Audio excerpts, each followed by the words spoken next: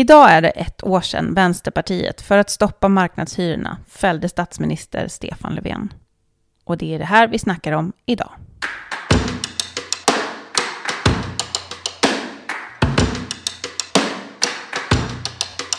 För ett år sedan höll Annie Lööf och statsminister Stefan Löfven en presskonferens tillsammans om marknadshyrorna och vad som borde ske med frågan. Innan dess hade Nooshi Dadgostar gett regeringen 48 timmar på sig att slänga utredningen om marknadshyrorna i papperskorgen. Hur frågan sen spelades ut blev en avgörande vändpunkt för både Vänsterpartiet och för svensk politik. Det är detta vi snackar om idag och i studion finns jag, Anna Herdy och Vänsterpartiets kommunikationschef Jenny Lindahl. Det var tisdagen den 15 juni. Det var en varm dag, men inte stekhet. Riksdagsledamöterna utanför kammaren kände att semestern ligger runt hörnet. Jenny Lindahl, vill du ta med oss tillbaka till riksdagens presscenter och den första av vad som skulle komma att bli många presskonferenser om marknadshyrorna och dess avskaffande? Ja, det var ju ingen som riktigt trodde att det skulle hända något spännande vi hade verkligen larmat och hållit på och försökt få till förhandlingar. Och, för en av våra röda linjer var ju att om regeringen genomför marknadshyror, då kommer vi inte att ha förtroende för dem. Då kommer vi fälla dem. Men ingen trodde på det. Och det var genom att ingen trodde på det som knappt ens vi själva, som eh, Vänsterpartiet kunde ställas utan politiskt inflytande. Men den här dagen, då då fanns det liksom ingen som trodde att eh, vare sig vi skulle ställa ett skarpt ultimatum eller att vi i nästa steg skulle göra det som hände sen. Nej, men vi hade kallat till en pressträff för att meddela att nu ställer vi ett ultimatum. Och då hade vi också tagit fram en tidsgräns, för att annars vi är vana att bli också lite spelade av Socialdemokraterna. Att de säger bra, då gör vi så här och det drar ut på tiden och det kommer in någon ny fakta från sidan och det kommer någon intel från någon källa och så håller de på så där och allt bara rinner ut i sanden till slut. Så då hade vi sagt att det ska vi inte låta hända, utan vi ger regeringen 48 timmar. Och det blev ju extremt effektfullt. Ja, det blev ju en mexican standoff. Alltså alla vaknade till. Eh, därför att när man är så exakt i ett krav, eh, att, man, att man kan liksom verkligen formulera villkoren, då, då, då förstår ju folk att man menar allvar till att börja med. Men också att det var väldigt kort tid. Och att det, var, det höjde ju dramat i svensk politik något otroligt. Men det var fortfarande ingen som trodde vi skulle göra det. Men alla tyckte väl ändå att det var härligt att berätta historien om hur vi hade utmanat i den här liksom, cowboy-duellen, eller vad man ska säga. Men alla trodde att det var vi som skulle ge oss, eller ja, det gör man väl kanske inte, men... man dör. det var ingen som trodde att vi skulle vare sig fullfölja eller vinna. Och det som Nooshi då sa på presskonferensen, det var det här. Regeringen har nu 48 timmar på sig att återkomma med besked om de accepterar något av de här två alternativen. Om regeringen inte accepterar något av de här två alternativen, då har vi inte längre förtroende för Stefan Löfven som statsminister. Samma sak eh, gäller om de väljer förhandlingsvägen och det till riksdagens öppnande inte finns något avtal där Hyresgästföreningen ingår. Otroligt starkt. Verkligen. Vattentätt kan man säga att det var. Det fanns inget sätt för regeringen att lura sig ur det här, utan nu var det tydligt vad som gällde. Men fortfarande var det inte direkt någon utanför Vänsterpartiet, och inte heller alla i Vänsterpartiet tror jag, som trodde att vi verkligen skulle fälla regeringen ifall de inte gjorde som vi sa. Därför att man är vana vid en annan historia. Men alltså Nooshi själv, hon visste ju att hon skulle göra det. Så det var ju, det var ingen tvekan om. Men eh, det däremot hon inte visste, det var huruvida det skulle gå att fälla regeringen, för vi hade inte alla mandaten.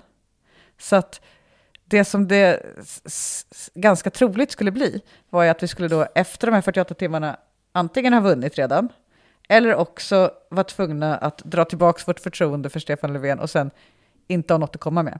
Och misslyckas med själva... Ja, det blir ingen misstroenderöstning, vi har bara varit jobbiga. Men, vad är det som händer? ja, men sen håll, hålls ju efter 48 timmar har passerat, fick ju lite marginal där, för att vi ville ju först vi kunde ju inte kalla till en pressträff på det klockslaget, då hade vi inte hunnit läsa beskedet om det kom i sista minuten då. Men regeringen hade ganska snabbt sagt att det här blir ingenting av. De försökte liksom med ord säga att det blir inte den här propositionen exakt. Det här är ju inget förslag. Ja, det, det är bara ett utredningsförslag. Det är ju inget förslag. Hur, man kan inte fälla på ett utredningsförslag, det går inte, sa de. Och så. Det vi inte visste var ju om någon annan skulle kunna tänkas vara med på vårt misstroende. Någon annan skulle behöva hjälpa till att lägga det i riksdagen. Vi höll på att undersöka olika möjligheter. Går Det att samla ihop underskrifter eh, ifall man inte får ett helt parti med sig och så. Men eh, det var också oklart för högerpartierna då. Alltså Ulf Kristersson hade sagt så här, jag fäller regeringen vilken dag som helst. Men han var inte säker på att vi skulle fullfölja. Han vill inte stå där Nej, de själv. var väldigt sådär, äh, ja det är mycket snack, mycket liksom drama ja. här, men, men de kommer ju inte genomföra det här, de kommer Nej. ju inte fälla regeringen. Och Ebba Busch var ute jättemycket och skramlade kring det och försökte tuffa sig liksom. Och aldrig att eh, Vänsterpartiet, det är bara massa skrämmel, mm. De larmar. Vad hände då? Jo, men vi höll en pressträff då, den 17 juni. Då sa Nooshi att vi gav Stefan Löfven en tidsgräns för två dagar sedan, den har nu passerat. Och sen sa hon... Vänsterpartiet saknar nu förtroende för Sveriges statsminister. Sverige befinner sig nu i en helt ny situation. Svenska folket Sveriges, genom Sveriges riksdag har inte längre förtroende för statsministern. Det är inte ett lätt besked som jag ger här idag. Det, det förstår jag. Men någon måste stå upp för Sveriges hyresgäster. Och jag vet precis hur det är att växa upp i ett starkt samhälle. Det är det Sverige som jag har växt upp i och jag tänker inte medverka till att montera ner det svenska folkhemmet. Vilket ögonblick. Mm. Det, är liksom, det, det uttalandet förändrade ju hela ja, den politiska dagordningen och svensk politik. Mm. Därför att vi har haft en utveckling som har gått i ett och samma håll. Eh, där Socialdemokraterna har samarbetat, eller själva ibland, men framförallt samarbetat högerut för att få stöd för sin politik. Och där också hela den politiska utvecklingen har gått till privatiseringar, marknadslösningar och eh, nedskärningar. Samma riktning hela tiden. Och det var ju därför vi la upp den här röda linjen, för det här var ju nästa stora sån reform. Men Ja, men jag vet inte ens om jag själv ens trodde först i det ögonblicket att det faktiskt skulle bli så att vi sa, jo jag trodde det, men kanske den veckan, innan den veckan, så kändes det liksom väldigt osannolikt att det skulle gå att yttra de orden. Mm. Och det var även då ganska mycket folk på den här presskonferensen. Ja, nu hade, var ju intresset massivt. riktigt massivt. Men eh, det var ju fortfarande oklart. Vi höll ju den pressträffen, men visste inte om det skulle falla platt därför att ingen hakade på. Men sen kom det... en episk sån TT-meddelanden. Ja. TT-meddelanden och det piper på telefonerna typ hela tiden. Först kommer det... Jimmie Åkesson lämnar in misstroendeförklaringen. Mm. Eh, för Sverigedemokraterna, de, de, och de gjorde inte det för att de trodde att det skulle leda till att vi skulle vara med och fälla regeringen, mm. utan för att jävlas med oss lite mm. grann. Okej, nu ska vi syna Vänsterpartiet. Mm. Och se om de hänger på. Exakt, det var ju deras tanke. Säkert Ebba Buschs tanke också. Mm. Moderaterna hade däremot mycket bättre koll på att vi faktiskt tänkte genomföra det här. Så att de visste på ett helt annat sätt att om de är med på det här så då kommer regeringen falla. Mm. Eller de kunde på goda grunder tro det i alla fall. Men så först kom, gick Sverigedemokraterna ut. Sen kom det ganska direkt efter ett om att Ebba Busch och Kristdemokraterna också ställer sig bakom då misstroendeförklaringen. Eh, sen dröjde det ett tag. Det var liksom tyst i telefonen. Och sen kom det, det tredje sms, och, men då har det kommit så långt senare. Ni vet ju, man har en telefon och då blir det liksom, bubblar de ihop sig i ett sjok om de kommer tätt. Och sen så blir det ett litet mellanrum till nästa segment av sms. Och det blev alltså ett nytt segment, så lång tid tog det. Det är typ timmar, alltså mm. ett par timmar säkert. Mm. Så kom det att Ulf Kristersson, Moderaterna, men han bullrade inte på, utan han skrev det bara på sin Facebook. vi, ska, vi ska fälla statsministern när helst det går, alltså ska vi göra det nu också. Ja, och då visste vi att nu är det en majoritet. Mm. Nu kommer vi fälla regeringen på måndag. Men fortfarande trodde inte Socialdemokraterna att vi skulle göra det. Kanske inte SD och KD heller. Och knappast mediekåren. Nej, Och knappast Centerpartiet, för att då hade de kanske backat två dagar tidigare.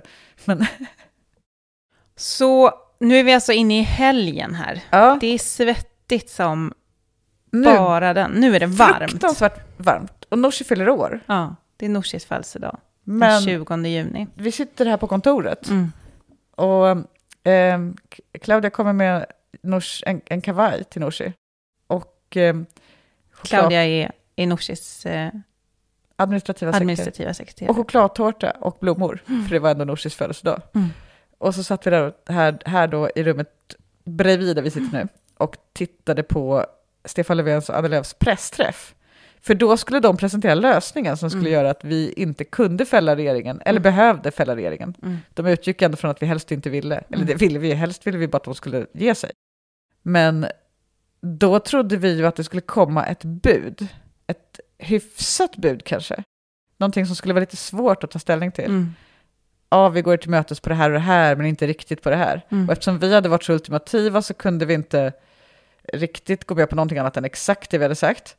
Det de presenterade då på sin presskonferens, eh, Stefan Löfven och Annie Lööf, det var ju att parterna ska få förhandla. Ja. Och det var ju en av de två alternativen som eh, Ja, Nooshi hade sagt. men jag menar, det hade Morgan Johansson också sagt tidigare i veckan. Men nu skulle parterna förhandla, och det, på samma sätt som Morgan sa, det vill säga de får ju träffas ungefär. Mm. Inte att liksom propositionen dras tillbaka eller så, utan de får träffas. Och om de inte kommer överens om något, så är det ändå propositionen som ska gälla. Ja, till och med så här. Då är det exakt propositionen som ska genomföras. Morgan hade tidigare i veckan sagt att eh, det kommer inte bli den här propositionen precis, utan det blir liksom typ något annat, man måste ta bort det här och det här.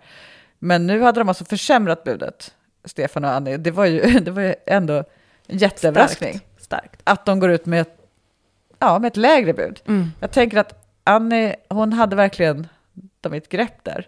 Det måste ju vara det som har hänt, för att när Mm. sossarna själva var ute och kommunicerade så var det bättre än Mm. söndagen. Ja, för de skickade ju också ut Morgan Johansson väldigt mycket som en liksom Ja. slags slugger. Han sa många saker Åh, som var dåliga. Oj, Hur Vänsterpartiet var så sa. väldigt liksom omogna och halvstarriga och det var Ja, det visst. ena med det andra. De hittade på olika eh, förolämpningar, ja. Mm. Det var mycket det.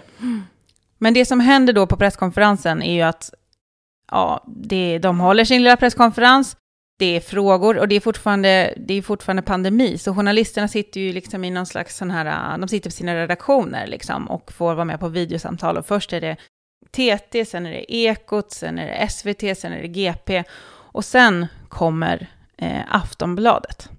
Tack så mycket för det. Under den här pressträffen så har faktiskt Vänsterpartiets eh, Nooshi Dadgostar eh, twittrat. Jag ska läsa den här tweeten för er. Eh, hon skriver Det blir en förhandling under hot där hyresgästerna förlorar. Det här är oseriöst och det är politisk teater för att förhala processen. Ta ansvar för landet och stryk punkt 44. Så här har hon alltså twittrat nu under pressträffen. Stefan Löfven, vad är din kommentar på det här? Att eh, kalla en förhandling mellan bostadsmarknadens parter för teater, det förstår inte jag. Vi har en modell på, på, i Sverige som vi är väldigt stolta över att parterna på i olika sektorer, på arbetsmarknadens område är det arbetsmarknadens parter, här är det bostadsmarknadens parter som får en möjlighet att sätta sig ner och, och förhandla. Eh, De får själva svara på huruvida de vill göra det. Eh, Men att då att politiken då skulle säga nej, det får inte ni göra. Utan för oss är det viktigare Ja, att ställa det det till vi- med en politisk kris. Det är väldigt, väl- det är inte ansvarsfullt. Men det här är kul, för nu kommer jag också ihåg Mm. att det vi beskrev det som nyss, att deras bud var att de ska förhandla, men om de inte kommer överens så kommer det bli propositionen. Det var inte alls budet, utan det var de ska förhandla, men det kommer ändå bli propositionen. Mm. Oavsett vad de kommer fram till. Det ska gå i linje, överenskommelsen Så- ska gå i linje med... Eh, Så sa de, det ska, Mm. de, de, kan bara, de ska förhandla, men de får bara komma fram till den här propositionen. Mm. Typ ungefär Mm. så. Nej, och vad man kan säga och som kändes också väldigt ballsy då, var ju att Nooshi twittrade mitt under deras eh, presskonferens. Hon avfärdade, alltså för det här hela eh, politiska journalister i kåren, ganska stora gruppen när de är allihopa, då är de ju ett gäng. Och så, då kommer ju redaktionerna ja, nu är de ju inte där, men alltså allihopa sitter ju spikade. Och var och en av dem tror jag ganska liksom säkra på att det kommer komma ett bud. Ganska säkra på att det kommer bli tufft för oss att eh, liksom, ja, vi kommer inte kunna rösta ner den här regeringen för dem. Kolla vad de bjuder till, de har en pressträff till och med. Så istället för att hålla en egen pressträff sen, så Nooshi tar ju bara upp telefonen och skriver det här under tiden som Stefan och Annie pratar. Och så säger hon, nu skickar jag iväg det. Och så gör hon det. Så hon avfärdar budet mm. under pågående I pressträff. Så att de hinner inte avsluta sin pressträff förrän den har helt misslyckats. Det var, eh, jag vet inte, alltså det är så mycket som är ovanligt under den här veckan. Det där var inte jag beredd på heller. Nej, men det var genialt. Ja. Så den 20 är liksom alla förutsättningar för att inte fälla Stefan Löfven på måndagen den 21 juni borta. Nej, det tror inte de politiska journalisterna och Socialdemokraterna fortfarande. De tror fortfarande att när det väl kommer till kritan så kan inte vi rösta emot en socialdemokratisk statsminister. För hur skulle vi kunna det? Då blir det ju Ulf Kristersson, sa de. Och vi bara, men varför skulle det bli Ulf Kristersson? Det är ett falskt argument, men de skrämde ju upp folk på sociala medier och alltså oroliga sossar som skrev och ska ni, ska ni, ska ni bli en högerregering nu för det här? Eh, bara för att, det här var Socialdemokraternas spinn, det var huvudspinnet, att det, nu blir det högerregering, nu blir det SD i regeringen, bara för att ni har gjort så här. Nu har ni banat väg för SD, nu har ni krokat arm med SD, så höll de på. Och det är ju skrämmande, för väldigt många så var det någonting skrämmande. Man kan ju tänka lite på den här tiden när Socialdemokraterna, de körde jättemycket på, på ordet desinformation nu under ett tag. De körde på, allt vi sa sa de var desinformation om det rörde eh, liksom internationella konflikter. Och eh, det var lite konstigt, de, de slutade med det sen. Mm. Men eh, det här är ju desinformation. Mm. För det fanns ingen förutsättning för Ulf Kristersson att bli... Nej, vi sa ju vi kommer inte rösta på Ulf Kristersson som statsminister. Alltså varför skulle vi göra det? Ja, I så fall får han ju verkligen börja förhandla ordentligt om att genomföra en vänsterpolitik. Och det hade nog inte han tänkt. Så det var ju liksom, ja. Men fortfarande så tror alltså folk att eh, Vänsterpartiet kan inte, det här sas liksom överallt, Vänsterpartiet kommer aldrig kunna, kan inte rösta, emot, rösta bort en socialdemokratisk regering. Dagen efter den 21, då skulle alltså vi ha själva misstroendevoteringen. Då var det liksom spännande fortfarande. Fast vi hade sagt hur vi skulle rösta, fast vi hade sagt samma sak helt konsekvent hela vägen igenom, så, så var det på något sätt som att alla bara, nej men i sista stund så kommer de trycka på en annan knapp. Ja, jag satt, det var varmt som sjutton den dagen också, men alla var lite finklädda. Alla kom, alltså som att det vore avslutning eller något. Det är packat med journalister, och det är också lite så här, för det här året är det ju ingen Almedalsvecka heller, så det här är väldigt mycket det närmsta ett mingel vi kommer. Att ja, alla... för det var ju också det. Eh, statsministern skulle fällas och helt plötsligt var man tvungen att ta in alla ledamöterna. Ja. Det hade varit corona, ja. liksom riksdag och det hade varit inte... Ingen hade sett någon. Ingen hade sett någon och helt plötsligt skulle alla, och det var ju också ett spinn, eh, det skulle bli liksom coronafest och smittspridning. Ja, det, det var det. Men det var inte så många som köpte det. Nej. Men, och alla journalisterna var där och de var också, många var lite finklädda. Så det var, liksom, det var stämning. Det var också så att alla var liksom glada att se varandra i journalistkåren. Så att det var mingel ute i kammarfojen. Jättemingligt. Det var, sorlades och snackades och höll på. Men när Nooshi började tala blev det knäpptyst. Herr talman, ledamöter av Sveriges riksdag, alla ni runt om i vårt land som följer detta idag. Vi har hamnat i den här situationen för att högmod och oresonlighet överordnats landets stabilitet och den politiska kompromissviljan. Det beklagar jag. Politiken borde kunna bättre. Att Vänsterpartiet kompromissat allra mest under den här mandatperioden har nog inte undgått någon. När regeringen tillträdde i januari 2019 så byggde det på fem partiers mandat. Socialdemokraterna, Miljöpartiet, Centerpartiet, Liberalerna och Vänsterpartiet. Fyra av dessa partier kom överens om att stänga ute det femte partiet, Vänsterpartiet. Våra mer än en halv miljon väljare stängdes ute från förhandlingsrummet där de 73 punkterna i det så kallade januariavtalet togs fram. Detta trots att Vänsterpartiets mandat krävdes för att regeringen skulle tillträda och avtalet ha någon mening. Ändå valde vi i Vänsterpartiet att släppa fram Stefan Löfven som statsminister. Det var inte ett lätt beslut, men vi gjorde det. Det går inte att vara oresonlig i ett svårt parlamentariskt läge. Men vi sa redan då att eh, en gräns för oss går vid punkten om marknadshyror och höjda hyror.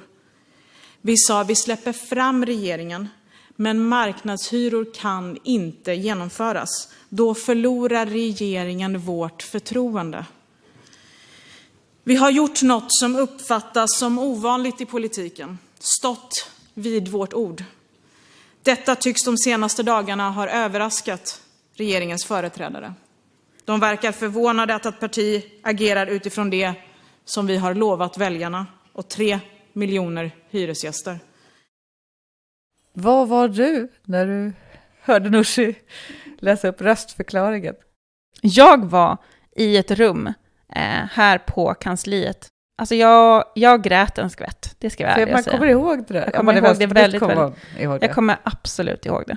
Jag grät en skvätt. Jag tycker att det är otroligt, otroligt starkt. För man har ju varit igenom väldigt drama som kulminerar här. Jag menar, allt är oroligt. Jag tror att många liksom är lite rädda för vad som ska hända. Men när man hörde det där var man inte rädd.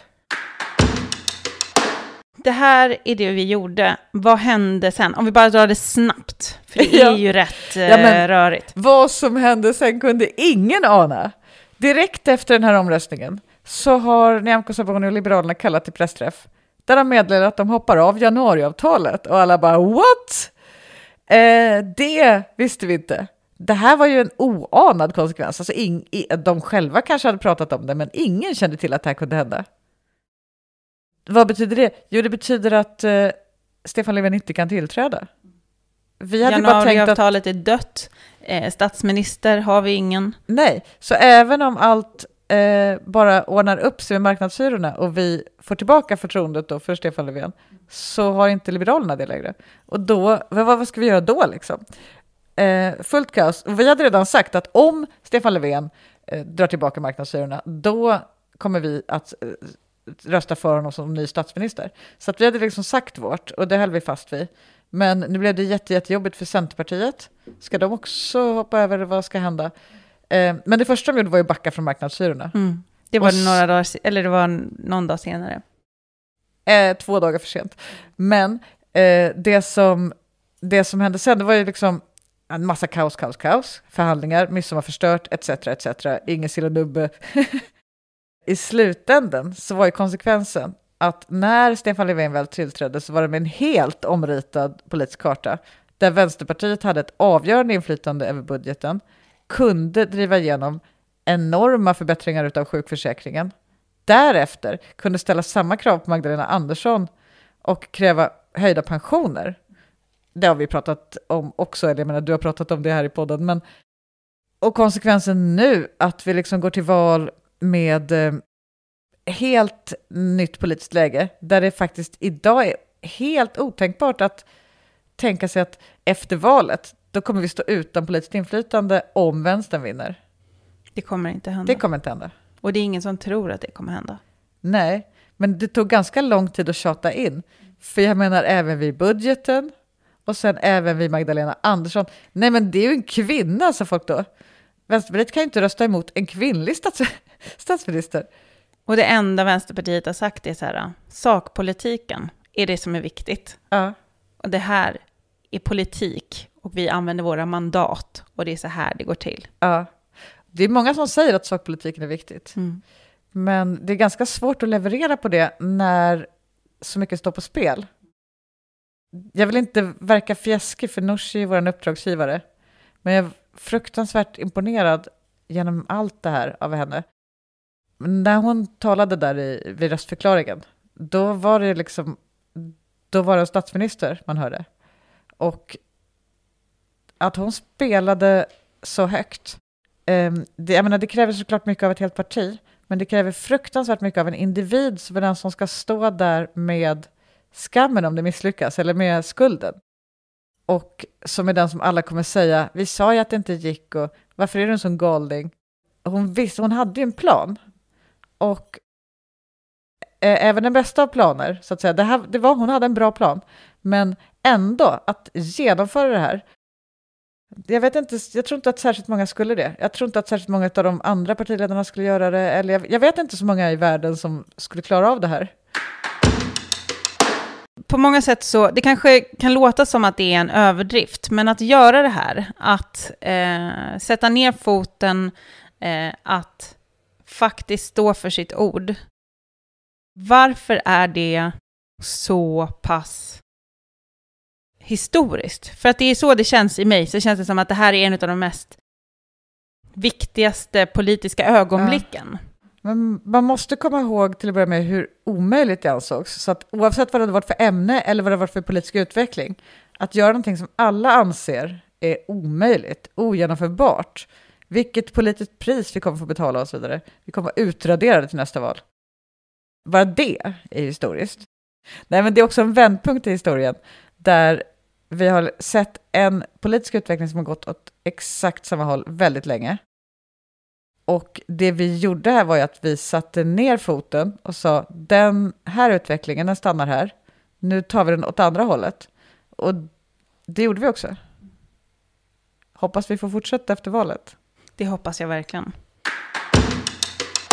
Du har lyssnat på ett avsnitt om striden om marknadshyrorna. Ett litet tillägg som behövs. Ett parti och en rörelse är ingenting utan sina medlemmar, sina aktivister och sina anhängare. Nooshi gjorde kampanjen mot marknadshyrorna enormt framgångsrik. Men hon gjorde det tillsammans med Hyresgästföreningen, tillsammans med partiföreningar som idogt stod och argumenterade mot marknadshyrorna på gator och torg. Och med vänstersympatisörerna som följde med i nyheterna, argumenterade och bråkade vid fikabord. Att vi stoppade marknadshyrorna, förbättrade sjukförsäkringen, fick igenom en höjning av pensionerna. Det är bara början. Vad tycker du att vi ska prata om i kommande avsnitt? Gör som många redan gjort till en tradition. Skicka in ditt förslag på ämne till podd.vansterpartiet.se och det ska vara podd med två D. Tack för att du har lyssnat.